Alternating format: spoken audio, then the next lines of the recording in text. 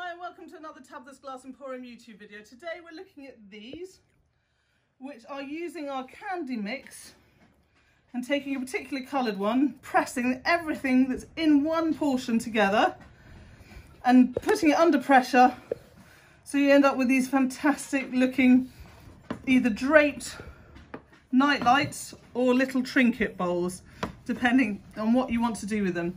And I think this is a great way of ending up with a really beautiful piece using our wonderful candy mix and using the pressed glass technique.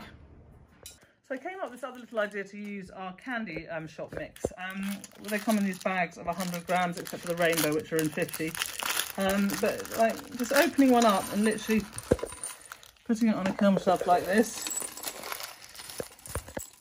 And then I'm going to squash them down together. So you can see with the other ones, I've sort of arranged them, know, not, you know, totally trying to make it a circle, but in a kind of circular shape. And then I'm just, um, you know, arranging them down. And once I've done this, I will put a kiln shelf on top, squash it down, and then I will um, slump these into little trinket dishes. I'm hoping that enough of the gaps will fill. So let's say if, like here, I've got quite a lot of um, space in this hole. So I'm going to add a few different murrini into that space and they'll all squash down together. Um, same with these, put some murrini inside. I'll arrange it together and then we can get it in the kiln and have a look at it before it gets squashed. So these are now ready and so this will go in the kiln on top with the, the freshly kiln wash side on top of the murrini and it will go in as per the schedule at the end.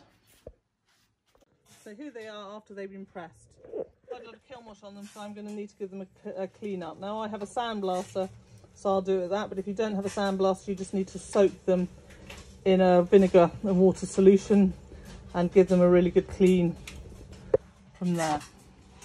So here they are nicely sandblasted and I've just given them a wash. I've kept them wet so you can really see the colours on them, which I think are amazing. Um, Look at that purple one. That's just completely beautiful. It's like a cosmic vortex.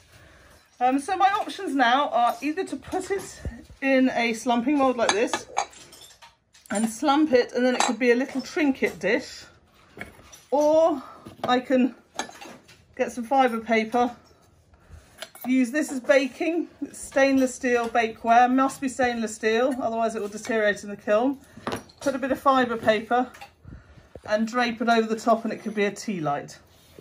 So I'm going to decide what I'm going to do with which and I'll get them set up in the kiln and then show you how they look in there. So here's my setup in the kiln. I'm doing two draping and two slumping. Now you shouldn't really do draping and slumping together. Um, I'm probably going to have to go hotter for the draping and slumping so I will probably take out and do them in separate and probably in my smaller kilns but I just wanted to show you how they would be set up. I put these on a bit of kiln post because I thought that the pots weren't going to be quite big enough to drape over. So you need to take that into consideration. And I will also put a spirit level on to check that the levels are flat before I do my slumping. Because if the levels aren't flat in your kiln, your um, glass may not slump even in your moulds. So here they are out of the kiln. I really like how they've come out. I decided to slump two and drape two. Um, I did actually do this on one firing schedule and I think the drape ones, I was a bit worried that they wouldn't drape enough because it wouldn't get hot enough. Um, but actually it worked fine. I think these two I'd probably use as um, nightlight holders with a little candle in, whereas these two could be trinket dishes. Now this one, because it's got the kind of half circle um, bottom to it without a steady bottom area like that one does, it does wobble quite a lot. So I will put some bumpers. You can get these, they're called bumpers on places like um, Amazon or eBay. And just putting some over there will give a steady bottom. You sometimes have to move them around a bit till you find the kind of where it sits. So right now it's not sitting where I want and until I move them around I'll get the right thing to give it a nice steady bottom. The last thing I want to say about this is you've really got to make sure your kiln shelf has a nice fresh layer of kiln wash on it. Both the bottom one, even though you're using ThinFire, and the top one. Because of the pressure and because some of the murrini can be a bit sharp, it's better to be safe than sorry. And I personally like to put a really, really good layer of it because these are, um, are being pressed quite thin. They're, which is what I like about them, is the elegant thinness to the glass, which means you have a really light um, feeling piece rather than a chunky heavy piece.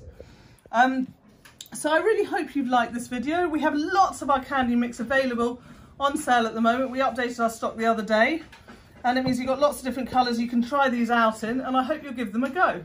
And if you've liked this video, please subscribe.